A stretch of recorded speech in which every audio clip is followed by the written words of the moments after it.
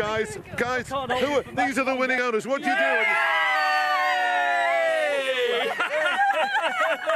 she was standing next to me when you won. She was screaming. I know. What's it like, guys? Oh, he's wonderful. The horse is.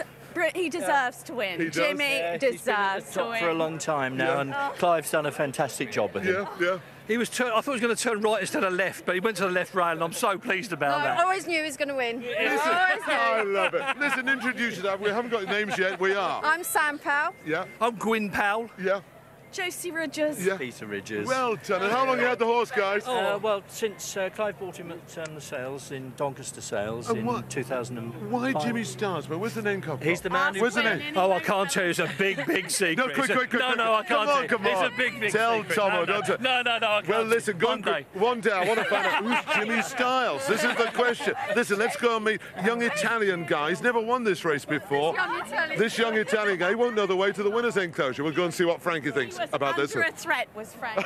you see what it's like. Well, Tomo hot on the trail of the name. Let's take another look at the closing stages. About uh, eight, maybe more, stayed stand side. I think they were fairly evenly matched most of the way. Frankie with a sustained run down more towards the centre, where you could say it was slightly slower, but uh, good, plenty of horses to tow him along. And once he got this horse motivated, he kept him going well, head down, drives the line. He actually put his stick down. I'm pretty sure he knew he'd won, even though it was a photo. And of course, this horse trained by Clive Cox at Lambourn, where um, John Frankham is landlord and regular um, work rider. Johnny, you must be thrilled. Well, uh, well, I'm, I'm obviously thrilled, but um, it's the first time I haven't backed him this season. Um, but this horse was originally Clive wanted him drawn um, in store 19, and they did the draw on the phone. And Clive's phone went dead, and by the time he uh, got reconnected, he'd been put from store 19 to store 15.